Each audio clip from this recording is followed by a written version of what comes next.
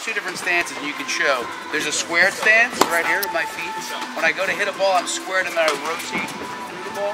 And then there's an open stance where I take my outside leg, lean out, and rotate into my torso. Those are the two most common stances. And I think Johnson did a tip on this a while ago, Coach Johnson. But when you close, you can do a couple things. Or square, you can lift and land. It's called hopping off the front foot, landing and rotating.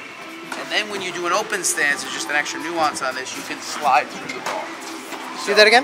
When you hit an open stance, you can slide through it as I fall over. How elegant is that, George? Right leg, slide through it. Left leg, slide. That's how you can hit an open stance, too.